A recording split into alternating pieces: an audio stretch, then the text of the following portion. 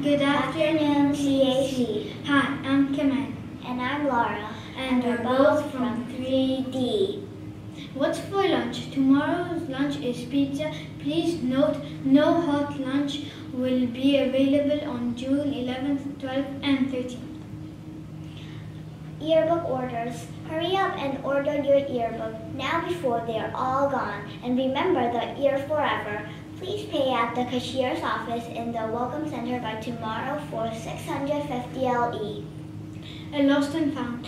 Final call to check lost and properties before the end of school.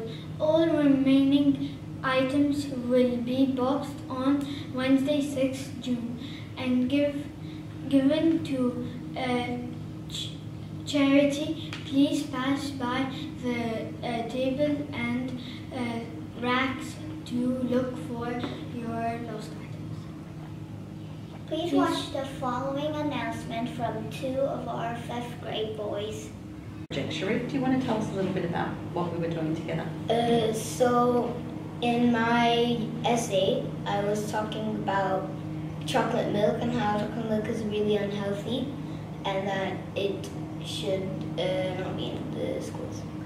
So then what did we do, Omar? We had a conversation about that and we did, we did a few tests. We had a machine that measured the sugar value uh, in drinks and so what, what did we decide to try? Um, we decided to try fresh juices and we decided to see um, how we're gonna put like um, well, we're gonna see how they go on and if people like it then we'll keep it for next year but we're gonna these two days we're just gonna test it we're gonna have mango today mm -hmm. and watermelon tomorrow. Wow. And, um, each juice is for 15 MU.